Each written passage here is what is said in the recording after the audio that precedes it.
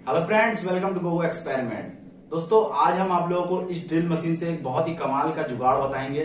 दोस्तों जनरली दोस्तों, इस ड्रिल मशीन को लोग दीवार में छेद करने के लिए या किसी लकड़ी के सामान में छेद करने के लिए यूज़ करते हैं। लेकिन क्या दोस्तों, आप इससे कुछ कट कर सकते हैं? जैसे कि कोई लोहे का सामान काटना हो आपको तो आप इससे कट नहीं कर सकते हैं। उसके लिए आपको हैंड ग्राइंडर की ज़रूरत पड़ती। है बट दोस्तों, मैं इसी से कट करके आप लोगों को दिखाऊँगा। दोस्तों, उसके लिए बस एक छोटा सा एक टूल्स की ज़रूरत होगी। जिसके सहायता से हम इस ड्रिल मशीन से किसी भी लोहे के सामान को कट कर सकते हैं। दोस्तों, वो टूल्स क्या है और दोस्तों, हम कैसे इसको कट करेंगे लोहे के रॉड को या किसी भी पाइप को? तो ये जानने के लिए दोस्तों, हमारे इस वीडियो को आप पूरा देखिए। तो चलिए दोस्तों, वीडियो को स्टार्ट करते हैं। तो दोस्तों, ड्रिल मशीन से किसी भी लोहे की चीज़ को काटने के लिए हमें इस तरह के टूल्स की ज़रूरत पड़ेगी। दोस्तों, ये टूल्स जो है आपको किसी भी हार्डवेयर के दुकान में इजीली मिल जाएगा। और दोस्तों, अगर आप ऑनलाइन इसको परचेस करना चाहते हैं तो आप ऑनलाइन भी परचेस कर सकते हैं। उसका लिंक मैंने डिस्क्रिप्शन में दे दिया है। दोस्तों, इसको कैसे सेट करना है, वही चीज़ मैं आप लोगों को बताऊँगा अभी। तो दोस्तों, ये देखिए, ये इस तरह से नट होता है। इस पे आप दोस्तों, ये वाला जो है रिंग टाइप का है, इसको मैं इस पे इस तरह से लगा दूँगा। अब दोस्तों, लोहे काटने वाली जो ब्लेड आती है, जो हार्डवेयर की दुकान में मिल जाएगी आपको, दोस्तों, ये कुछ इस तरह का होता है। इसको आप कुछ इस तरीके से इसमें बैठालना पड़ेगा। दोस्तों, इसको बैठालने के बाद आप इसके जो ऊपर वाला जो होता है रिंग वाला, इसको आप कुछ इस तरीके से इसमें लगा देंगे। तो दोस्तों, ये लग चुका है। अब दोस्तों, इसको मैं अपने ड्रिल मशीन में सेट करूँगा, उसके बाद आपको काट के दिखाऊँगा। तो चलिए दोस्तों, मैं इसको ड्रिल मशीन में सेट कर लेता हूँ।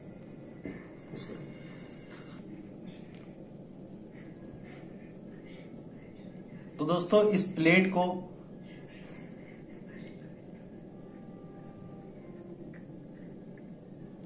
तो दोस्तों, इस टूल्स को मैंने लोहे काटने वाले ब्लेड में सेट कर दिया था। तो दोस्तों, इस टूल्स को मैंने लोहे काटने वाले ब्लेड में सेट कर दिया था। अब दोस्तों, हम अपने ड्रिल मशीन में इसको सेट करेंगे। तो दोस्तों, इसको मैंने कुछ इस तरह से इसमें लगा दिया है। अब दोस्तों, इस टूल्स की मदद से हम इसको कस लेंगे ताकि ये अच्छे से टाइट हो जाए, ताकि इधर उधर भागे ना। तो चलिए दोस्तों, इसको पहले हम टाइट कर लेते हैं।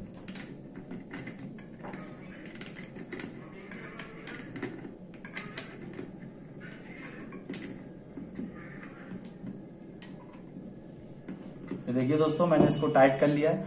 अब दोस्तों, इसके ऊपर वाले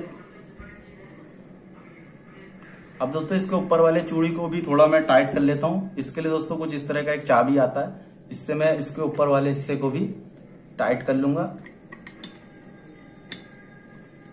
तो ये दोस्तों, टाइट कर लिया है मैंने।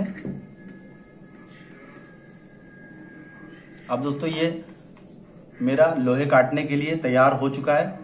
तो चलिए दोस्तों, अब मैं इस टूल से किसी लोहे के पाइप को कट करके आप लोगों को दिखाऊँगा।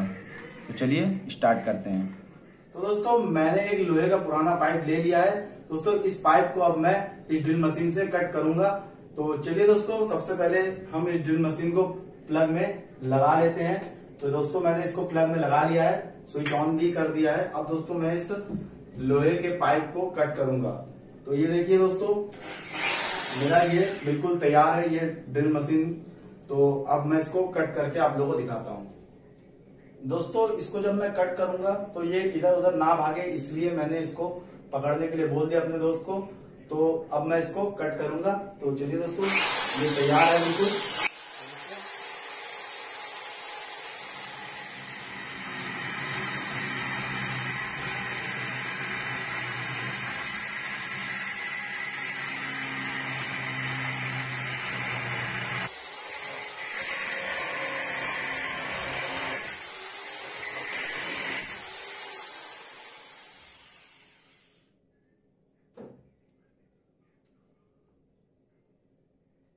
दोस्तों, आप देख सकते हैं, इसको मैंने एकदम इजीली कट कर लिया है।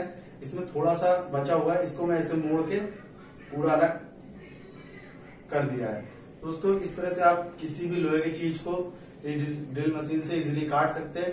बट दोस्तों, इसको काटने के लिए आपको थोड़ा सा केयरफुली रहना पड़ेगा। तो इसको अगर आप काटे, इस ड्रिल मशीन, इस तरह के ड्रिल मशीन से कोई भी चीज़ तो थोड़ा दोस्तों केयरफुली इसको कट करिएगा। तो चलिए दोस्तों आज के लिए बस इतना ही। वीडियो अच्छी लगी हो तो लाइक कर दीजिएगा कमेंट कर दीजिएगा और शेयर भी कर दीजिएगा। तो चलिए दोस्तों, हम मिलते हैं आप लोगों से नेक्स्ट वीडियो में। तब तक के लिए गुड बाय